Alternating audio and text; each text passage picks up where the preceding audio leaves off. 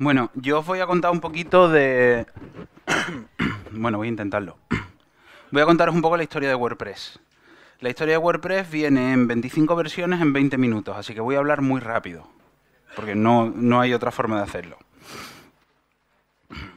Vamos a hablar de WordPress, y como todo en el mundo de los blogs, y como casi todo, hay un pasado detrás. El pasado detrás empieza en 1999, existe Blogger y existe LiveJournal. Esto es lo que se utiliza en aquella época para, para bloguear. Después, bueno, está el boom del software libre. En junio de 2001 hay un chico que se llama Michael Baldrighi que crea un software que se llama B2 Cafelog. En aquella época, B2 es algo tal que así. Muy moderno.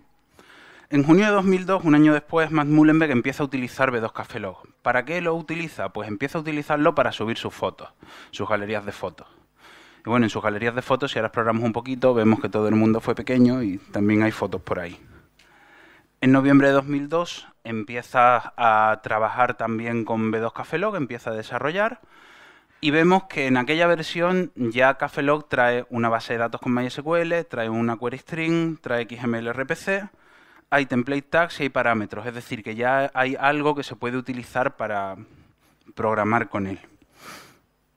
En enero de 2003 se empieza a gestar WordPress, se hace un fork de B2 Cafelog y se convierte en WordPress. Eso en software libre se puede hacer.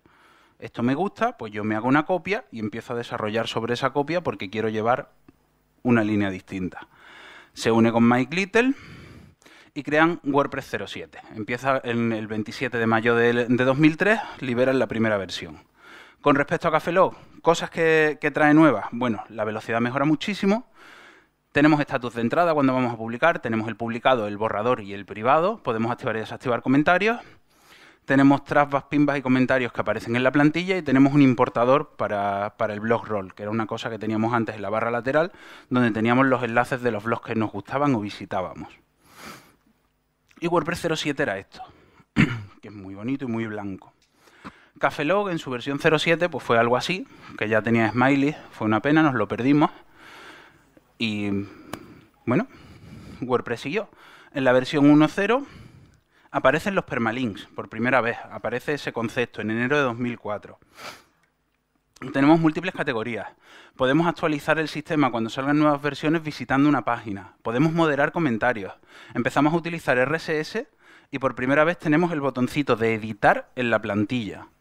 Estamos hablando del año 2004, hace 10 años, y WordPress 1.0.1 trae una gran novedad, y es que el WordPress de arriba viene en azul y negro. También tenemos el primer tema por defecto de WordPress. Este es el Classic, que se mantuvo hasta, una, hasta 2005, hasta un año después, y que todavía hay gente que utiliza. Por daros contexto histórico, febrero de 2004 aparece Facebook. Y en febrero de 2004 también aparece Flickr. Cuando aparece Flickr dice Matt, bueno, yo es que ya me he montado un sistema para hacer fotos. ¿Qué hago? Bueno, pues sigo con WordPress. Seguimos con WordPress, versión 1.2, sus categorías e idiomas. A partir de ahora podemos utilizar, además de categorías, sus categorías. Una gran novedad. Empiezan a encriptarse las contraseñas y las cookies para que no nos las puedan robar. Si subimos una foto se crea el thumbnail automático. Y para programadores tenemos por debajo muchas cosas como que se puede instalar que se puede instalar en un directorio. Antes tenías que tener un punto .com para poder tener una instalación de WordPress y ahora lo puedes meter en un barra WordPress, por ejemplo. Era algo que, que hasta ese momento no se podía hacer. Y tenemos por primera vez la vista previa. Yo escribo, le doy al botón y se ve. Si os fijáis, esto es WordPress 1.2. Hasta ahora, si alguien quería bloguear y quería escribir algo más que texto, tenía que saber algo de HTML porque todo había que meterlo con código HTML, no, teníamos ninguna ayuda visual más. Ya teníamos un principio de escritorio y se podían ver ciertas cosas. En noviembre de 2004 aparece Firefox. Hasta entonces se trabajaba con Internet Explorer, Opera y Mozilla. Una cosa bastante dura. Y con lo que alguien más que fuera friki trabajara, no sé, yo de esos tres solo. En febrero de 2005 aparece WordPress 1.5 y aparece el concepto de páginas. Hasta entonces solo podíamos hacer entradas, ahora de repente podemos hacer también páginas, que es la revolución. podemos moderar comentarios, hay un nuevo sistema para programadores para crear temas y plantillas, y aparece Kubrick. Un tema por defecto, que esto no cambió mucho, aparece Kubrick, que es el tema por defecto, y este tema por defecto se ha mantenido durante cinco años, hasta 2010. No es que fuera muy bueno, pero ahí estaba. En octubre de 2005 aparece Google Reader. Ya la gente empieza a darle un poquito más de importancia a eso del RSS, a sindicar y etcétera. Y el 31 de diciembre de 2005 cambiamos de etapa. Aparece WordPress versión 2.0 con dos grandes novedades. La primera, un editor WYSIWYG, es decir, yo escribo y se ve después eh, lo que yo estoy viendo cuando escribo es lo que se va a ver después lo que se va a ver en pantalla cuando yo lo publique. Y además el color azul. Esto es una gran novedad y además la presentaban como novedad. Se rediseña el backend, se empieza a trabajar con Ajax, que empezó a popularizarse en el 2005, que es eso que en la misma página nos vayan modificando todas las cosas de forma dinámica. Tenemos un plugin de backup y otro de anti-spam incluidos en el sistema. El de backup ya ha desaparecido, el de anti-spam sigue, se llama Kismet. El editor es flexible en tamaño, se puede mover. Hay una subida de multimedia en la misma página. Antes había que irse a otra página para subir las imágenes o para subir cualquier cosa. Ahora lo podemos hacer desde la misma página, en la parte de abajo. Lo vamos a ver ahora. También podemos hacer una vista previa con el formato final de plantilla. Es decir, yo le doy a vista previa y veo la plantilla con todas mis cosas dentro, cosa que tampoco se podía hacer antes. Y para programadores vienen un montón de novedades. Tenemos roles de usuario, tenemos opciones para niveles de usuario, se eliminan las llamadas directas al SQL y empezamos a trabajar con, la clase de, base de datos de WordPress, se mejora el cacheo, se mejoran los plugins y aparece por primera vez el archivo functions.php para, para los temas. Antes estas cosas se hacían a pelo, mm, pero a saco. Aparece el azul, que es bonito, y aparece en la parte de abajo la subida, el upload. Ahora puedo subir cosas desde la misma página. El dashboard del escritorio también cambia un poquito. Y después de esto, 22 de enero de 2007, llegamos a WordPress 2.1. Tenemos la primera idea aquí de utilizar WordPress como CMS. WordPress como CMS versión 2007, no lo que conocemos ahora.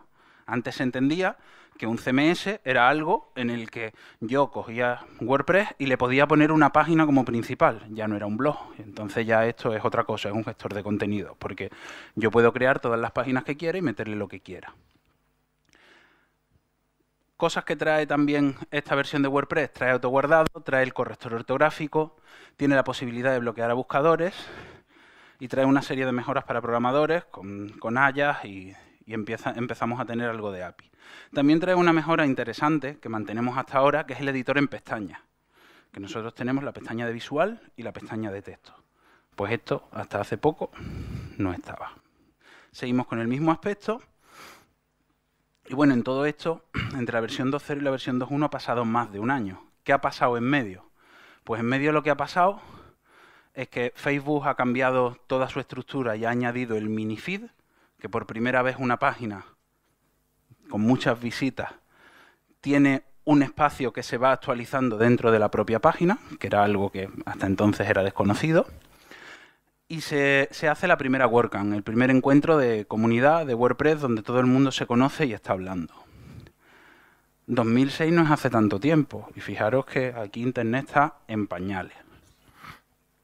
En 2006 también Hacemos nosotros en Sevilla el primer evento blog, que Luis está por ahí, que es uno de los organizadores. Y nuestro invitado estrella ese año es Max Mullenberg, que es un chaval que resulta que hizo WordPress unos cuantos años antes. Visita nuestras oficinas de Mecus y tal, y desde entonces pues nosotros nos dedicamos a WordPress y de forma bastante activa. Mayo de 2007, WordPress 2.2. La gran novedad de WordPress 2.2, los widgets. ¿Qué es un widget? Un bloquecito que nosotros podemos ir colocando en la parte de, la derecha. Tenemos una serie de espacios y podemos poner o quitar como queramos. Además de los widgets, tenemos una plantilla para infinitos comentarios, porque antes aparecían paginados. Ahora podemos hacer que todos los comentarios aparezcan en lista. También viene un poquito de seguridad, no se puede activar un plugin roto. Antes podíamos cargarnos un WordPress simplemente dándole a un botón, ahora ya no podemos.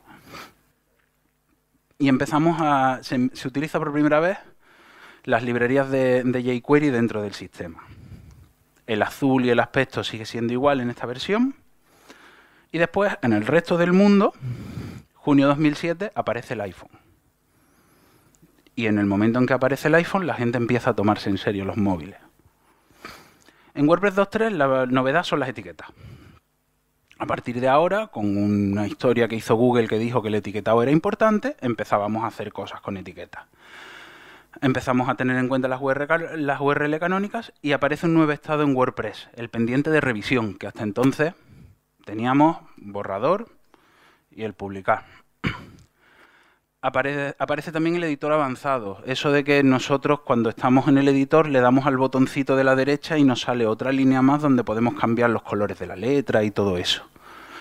Y para programadores aparece el prepare de base de datos que mejora mucho de, después la carga y el trabajo.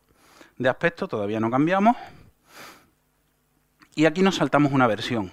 En marzo de 2008 llegamos a WordPress 2.5. Nos saltamos una versión porque con la versión 2.5 hubo muchísimos cambios, muchísimas cosas nuevas. Cosas nuevas, subida múltiple de ficheros y con barra de progreso. Y si además somos fotógrafos o algo de esto, que en este caso era la idea inicial de WordPress, nos sube toda la información del EXIF de la foto. También tenemos actualizaciones de plugin en un clic. Ahora le damos a un clic, el plugin se actualiza. Em, aparecen las galerías por primera vez cambiamos el concepto, ya no es galería de medios, ahora es librería multimedia y las, opciones son mucho mayores. También hay protección para los artículos que, cuando los estás escribiendo. Si tú estás escribiendo un artículo y alguien entra en el mismo artículo, le aparece un aviso de, oye, aquí hay alguien que está tocando. Se puede hacer escritura pantalla completa, tenemos un editor de etiquetas, aparece un medidor de fuerza de contraseña y para programadores tenemos la documentación en línea que es eso que tenemos en la parte de arriba del todo, que si le damos al botón nos baja una pantallita y tenemos ahí la ayuda. Y aparece toda la API de shortcodes, es decir, que podamos empezar a utilizar shortcodes dentro de WordPress. Cambiamos un poquito el color, le metemos también el naranja. Y el aspecto cambia un poco. Aquí tenemos la serie de, botoneras para poder subir imagen, vídeo y etcétera. Y en esta época también empieza a utilizarse WordPress Mu mucho. WordPress Mu era la versión multiusuario de WordPress. Era una instalación independiente y se utilizaba para crear redes de blogs. Para que lo entendáis los que no estéis muy metidos en esto, WordPress.com es una red de blogs. Hay una sola instalación de WordPress y alrededor hay 70 millones de blogs que se han creado desde una sola instalación. La gente entra, se hace su usuario y se hace su blog empezó a utilizarse mucho en las universidades y cada vez fue tomando un poquito más de, consistencia. Julio 2008, WordPress 2.6 aparecen revisiones y aparece, la, y aparece la opción de previsualización. Aparece también el botón de publica esto. Aparece el InCategory, que, esto es para programadores también. Muchas funcionalidades dentro. Aparece el turbo. ¿Alguien se acuerda del turbo? Uno. Vale, para todos los que no visteis el turbo en WordPress, aparecía, aparecía ahí un botoncito que ponía turbo. Se supone que con eso la, web iba más rápido. Era mentira, supuestamente era un proyecto de Google y tal, era totalmente mentira y no servía para nada, pero eh, se tiró ahí años y años el botón de turbo. Tenemos un previsualizador de temas que tampoco teníamos antes. Ahora podemos ponerle pies a las imágenes podemos hacer manejo en lotes de los plugins. Estamos muy acostumbrados a que podemos seleccionar tres y cuatro plugins y darle a actualizar. Eso antes no pasaba. Por primera vez, y estamos hablando de julio de 2008, podemos cambiar los avatares. Gravatar apareció bastante después, en el 2009. Podemos reordenar galerías con drag and drop. Por primera vez también tenemos soporte para, SSL. Podemos seleccionar varias cosas con mayúsculas y clic podemos hacer la subida de archivos en Flash y tenemos un poco más de control de las imágenes. El aspecto interior no cambia mucho. Seguimos con historia. Septiembre de 2008. Aparece la primera versión de Android, Apple Pie.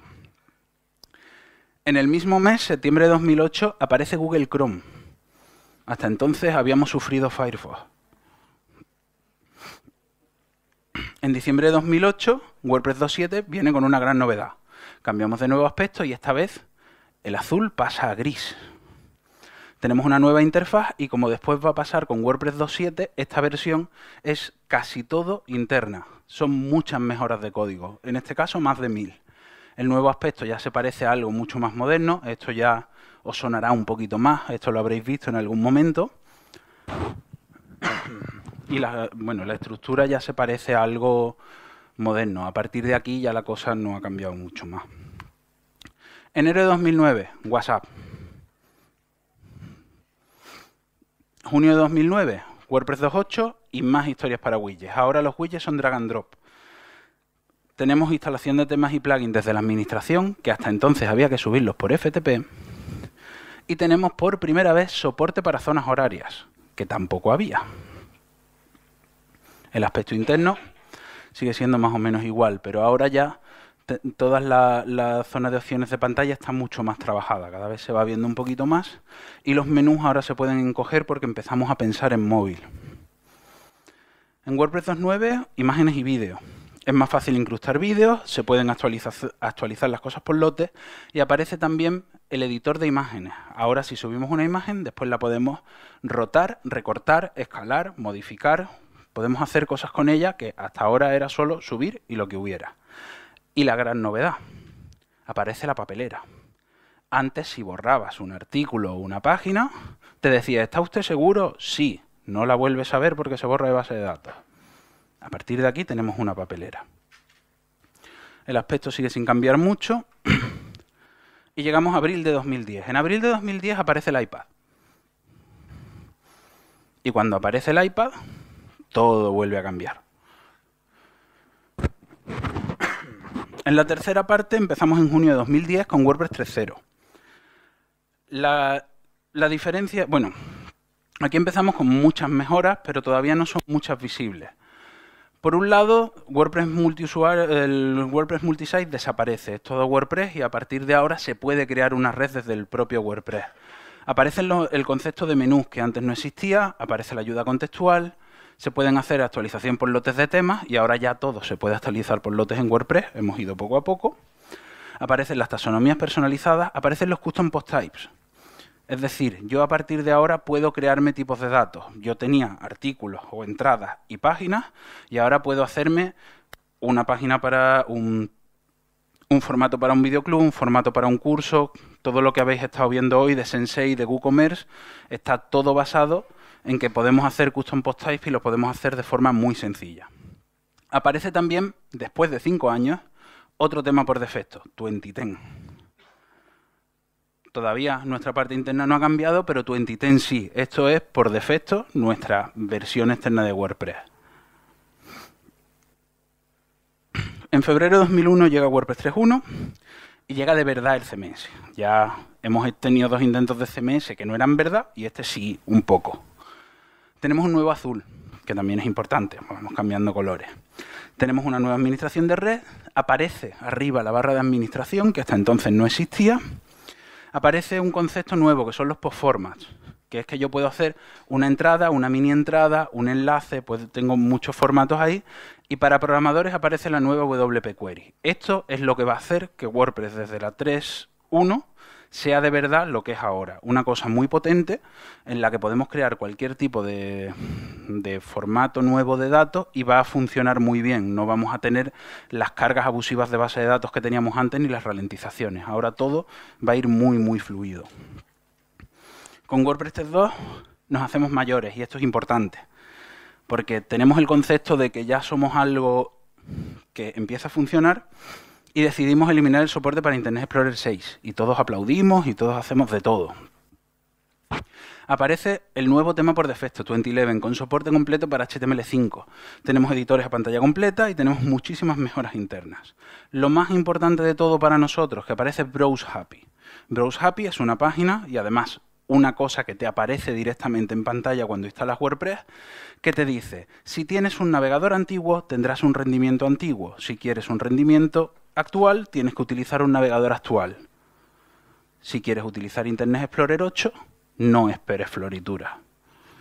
Tatuáselo a vuestros clientes cuando podáis también.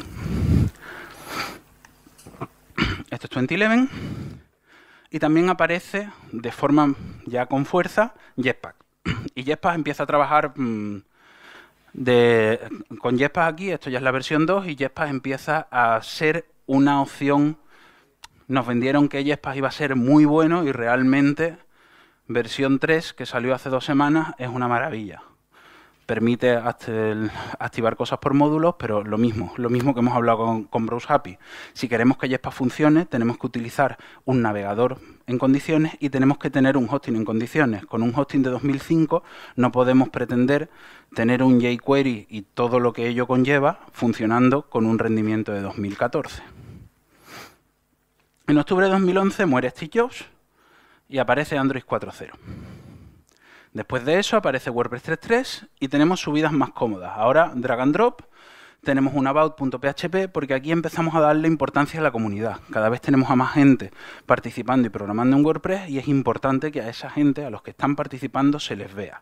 ¿Y dónde los ponemos? En la página principal, justo después de, de instalar, porque queremos que se les vean las caras y que se sepa quiénes son. Los widgets se mantienen aunque cambies de tema. Antes se borraban. Se bloquean los artículos cuando alguien está escribiendo y para programadores hay muchas mejoras por debajo. Con WordPress 3.4 llegamos a los temas personalizables. Tenemos el personalizador de temas ahora, que ya lo, conoceréis, y tenemos cabeceras personalizadas, muchas mejoras en tema de internacionalización. Y para programadores se sigue mejorando muchísimo el tema de la VP Query. Ahora acepta MetaQuery y se puede hacer casi de todo desde ahí con una línea de código. Se mejora también un poquito el tema. Y en noviembre de 2012 esta gente intentan copiar a Samsung, le sale el, aparato demasiado grande y alguien dice, eso no me lo voy a poner yo en la oreja. Y dice, deciden que hacen un iPad mini. Y hasta aquí. Un mes después aparece WordPress 5 y volvemos sobre el tema del CMS. Ahora tenemos un nuevo tema por defecto, 2012. El diseño es mobile first y es responsive. Ya empezamos a hacer las cosas bien y como dicen Ricardo y Verónica que hay que hacerlas. Muchas mejoras también para programadores por debajo, pero sobre todo el tema de que 2012, aunque esto no siga sin cambiar, 2012 es así, está en blanco, está preparado para utilizarlo como tema padre y hacer un tema hijo encima con nuestras especificaciones ese tema hijo se puede hacer como tema hijo tal cual, o si no tenemos mucha idea de cómo se hace eso, Jetpack nos permite hacer todas las personalizaciones sin necesidad de tener que tocar un FTP nunca en nuestra vida. Así que es cómodo. Agosto 2013, WordPress 3.6. Entramos en la era moderna, aparece 2013, que además usa los post formats y es una plantilla preparada para blogs. Aparecen los genericons, que eso es una fuente que tiene iconos de forma que ya no tenemos que estar pendientes de los iconos en ningún sitio, porque lo que estamos cargando es una fuente de Google y todos los dibujitos de las barras laterales vienen de ahí. Hay auto guardado, hay bloque de entradas mejorados, se mejoran las revisiones, los menús de navegación, hay previsualización de audio y vídeo y un reproductor multimedia HTML5 integrado. Así que las previsualizaciones funcionan muy bien. Esto es 2013. Seguimos moviéndonos. WordPress 7. El mundo de las actualizaciones automáticas. Todo lo que sea actualización de mantenimiento y seguridad se hace de forma automática. Se incluyen las traducciones. Se mejora el creador de contraseñas, la búsqueda mejorada y hay muchas cosas para programadores también por ahí abajo. En WordPress 3.8 cambiamos de interfaz. Esta vez en vez de meter más colores, metemos el negro. Ya cambiamos también un poco. Tenemos 2014, que es un tema magazine. De esta forma cerramos el círculo. Entre 2010, 2011, 2012, 2013 y 2014 tenemos un tema para magazine, un tema para blog, un tema para CMS y dos temas sin postformas organizados por la parte de abajo para poder utilizarlos de base para hacer cualquier cosa. Tenemos como fuente la Open Sans, que la ponemos por defecto, y hay otra serie de mejoras por abajo ya está todo pensado para móvil. Toda la administración se puede hacer directamente desde móvil y se puede hacer de forma cómoda. Y esto es 2014, en plano y básico. En WordPress 3.9 empezamos a trabajar con el visual. El editor tiene soporte para móviles, todo lo podemos hacer desde un móvil, no necesitamos un ordenador para nada. La subida y escalado de imágenes se hace directamente en el editor.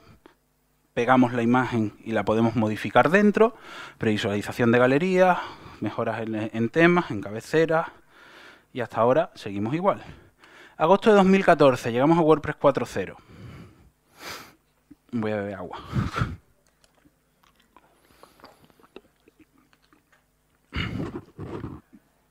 De WordPress 4.0 no os puedo contar mucho porque no os puedo contar el futuro porque todavía no lo sabemos. Además, WordPress tiene muchas cosas que en las versiones, eh, la versión 2 de WordPress, en la 2.2 y en la 2.3, para saber qué se iba a hacer con WordPress, la gente entraba en WordPress Ideas, los programadores veían cuáles eran las más votadas, que es algo que también podéis hacer vosotros, dejar ideas en WordPress Ideas, veían cuáles eran las más votadas y eso era lo que se hacía. Ahora mismo hay muchísima gente participando en el desarrollo y muchísima gente participando en el track.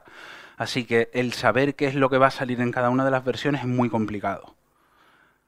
Complicado de verdad, pero sí hay cosas de las que ya sabemos que seguro las vamos a tener para 4.0.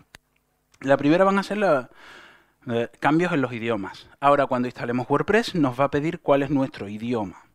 Y cuando nos lo pregunte, la instalación se va a descargar los archivos de idioma de la zona de Translate y se va a instalar en el idioma que queramos.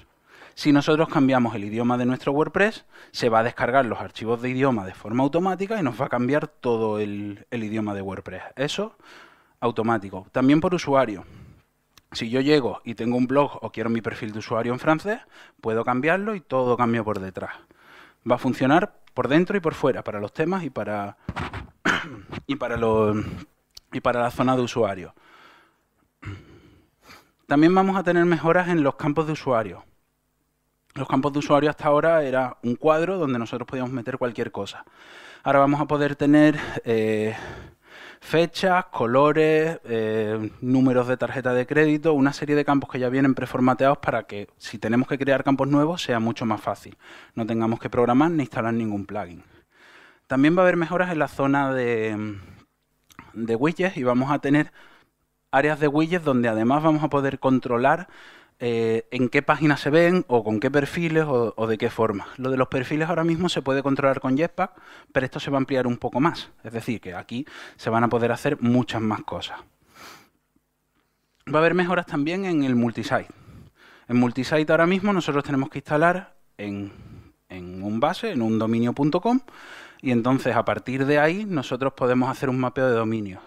Cada una de las carpetas yo le puedo decir que en realidad eso es un dominio y funciona como tal, de forma externa. Es lo mismo que pasa con WordPress.com. Yo tengo mi web.wordpress.com y le digo a, a WordPress, oye, yo quiero esto cambiarlo, quiero que sea mi web.com. Le pago los 18 euros anuales y automáticamente lo tengo. Esto ahora se va a poder hacer en cualquier carpeta y en cualquier sitio, es decir, que se amplía mucho la posibilidad y vamos a poder hacer redes de redes todo lo que queramos. Vamos a poder escalar esto muchísimo. se van a mejorar los embeds. Va a haber imágenes de fondo en el personalizador de temas. Yo he votado que no, porque esto es GeoCities, pero se va a hacer de todas formas. Va a haber mejoras en la API de exportación, va a haber revisiones para los metadatos, va, a haber muchas cosas que todavía están terminando de cerrarse. Esto es lo que sabemos hasta ahora. ¿Yo qué os recomiendo? Yo os recomiendo que si queréis tener una idea de qué es lo que está pasando en WordPress o qué va a pasar, primero os instaléis Jetpack. Si no conocéis Jetpack, instalároslo porque va a cambiar la percepción que tenéis de WordPress y de las posibilidades de lo que podéis hacer con él hasta ahora. Y las va a cambiar bastante. Que sigáis el perfil de Automatic en los perfiles de WordPress.org, porque aquí, en la zona de plugins, cada vez que hacen algo nuevo lo ponen y entonces lo podéis ver. Esta la pongo porque sí, porque no es, que llevo en el sistema más, más tiempo que Automatic y eso me mola. Es una cosa así. Echarle un vistazo a BuddyPress. BuddyPress es el plugin de redes sociales de WordPress. Antes, lo podemos decir abiertamente, era una patata y no servía para prácticamente nada. La versión 2.0 salió a principios de este año y es otro mundo. Es una forma de trabajar con redes sociales cómoda y útil echarle un vistazo, instalároslo en algún sitio porque mola mucho. Aunque sea solo para utilizar los perfiles de usuario, ya os merece la pena.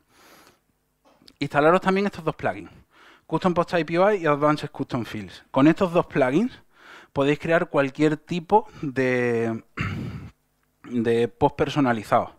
Es decir, que aquí vosotros podéis, um, os creáis un, un, nuevo, un nuevo tipo de datos y em, le ponéis los campos que queráis. Y todo esto viene muy bien formateado para que podáis ampliarlo todo lo que queráis. Esta es la zona de WordPress, Make WordPress. Aquí hay como 14 equipos se organizan en P2, donde podéis leer absolutamente todo lo que está pasando en WordPress. Esto es libre, está abierto, lo podéis leer y podéis ver qué es lo que está pasando y además podéis participar en inglés. si utilizáis algún lector de RSS, meteros estas cuatro direcciones. La de plugins y la de temas os, van os va a mandar notificaciones de todos los plugins y todos los temas que se suben al repositorio de WordPress. Aunque no os vayan a interesar mucho, el leer el nombre y saber qué es lo que hacen, hay muchas veces que te pueden dar muchas ideas y que si tienes algo por ahí que está medio empantanado, dices, ese es el plugin que a mí me hacía falta y acaba de hacerlo alguien, lo cojo y lo utilizo. Las dos de abajo es para información general de WordPress y también os los engancháis, sabéis todo lo que está pasando.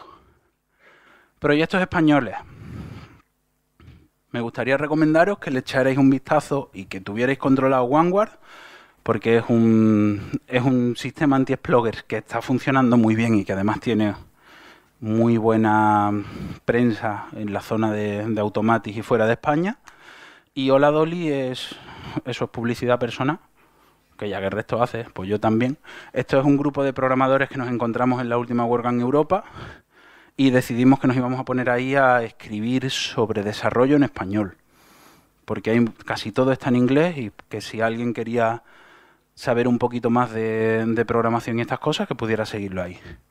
Y con esto, al futuro. Se acabó.